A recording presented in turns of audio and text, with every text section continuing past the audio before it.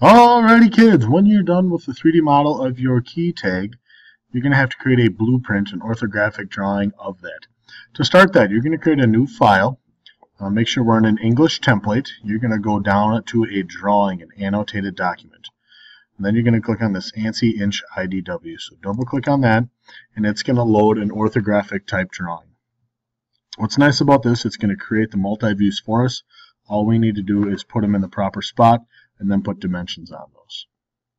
When it loads, it starts off very similar to creating a part. Uh, this piece of paper that we're on is rather large, so we're going to change that. We're going to go over to the browser bar. I'm going to right click on sheet 1, go down to edit sheet, and I'm going to change the size. Right now we're at a C size, that's pretty big. We're going to change that to an A size sheet of paper, click OK, and now the sheet of paper is a normal 8.5 by 11.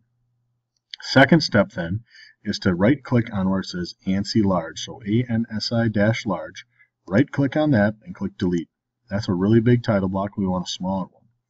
Hit the little plus symbol next to drawing resources, then the plus symbol next to title block, double click on ANSIA, ANSI A, double click that and it's going to load a much smaller title block. Then I'm going to hit the minus symbol for title blocks and drawing resources, close those up. Now, next step, I want to edit this thing down here. This is what's called a title block. This gives you information about your drawing. To start, I'm going to right click on ANSI A, edit definition, and now I'm going to edit these things. I'm going to zoom in a little bit. Um, we need to change a couple things. The first thing is author, so double click where it says author.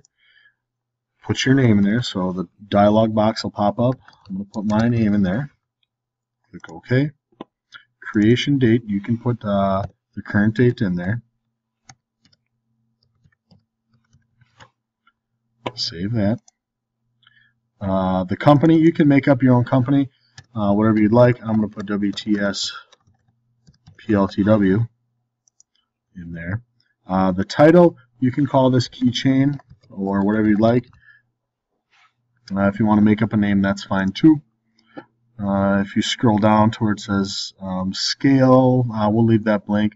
Uh, I need your name, date, um, title, and name in there. So uh, once those items are filled in, green check mark, finish sketch, yes to save the edits, and now it fills it in with your information. Alright, so I'm going to zoom back out to the regular size. Now I'm going to start putting my views in there. In the upper left corner, I want you to click base. When you click base, you're going to get this dialog box. To start, you're going to find your file. So click this little Browse Folder button and navigate to your C drive, sorry, your H drive. So find wherever your H drive is and find wherever you saved your keychain. In this case, I think I saved my keychain in here. See if I can find it. There it is. All right. Now I'm going to move um, this box off to the side. Don't close it. I'm just going to drag it off to the side. So here's my keychain. I'm going to locate it, the front view.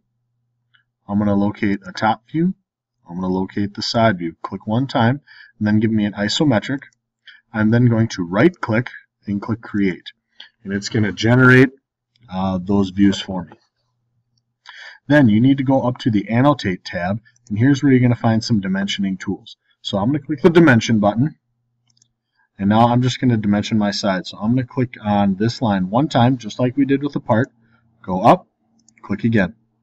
It'll give you some tolerances. Just click OK. I'll do the same thing with the side. Click OK, as well as the thickness tool. Zoom in over here.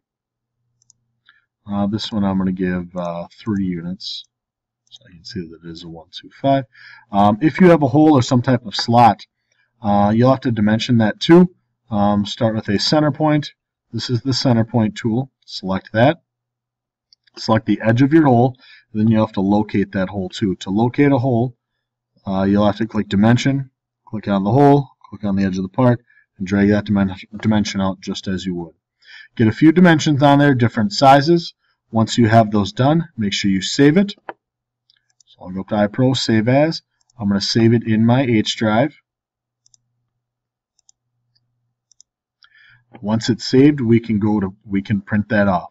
To print, you're going to go up to the big orange eye, go down to print and print setup. Make sure we select print setup. The proper printer needs to be up here. We are um, Webster Middle School, room 427. The name of the printer is on top of the smartboard in case you forget. Make sure the paper size says letter and the orientation says landscape. This is what your print setup box should look like. Check the OK button, then go back to the orange eye, go to print. We want to make sure that we preview the drawing, make sure it all fits on one page with all of our dimensions. And then you can go back and you can print that copy off.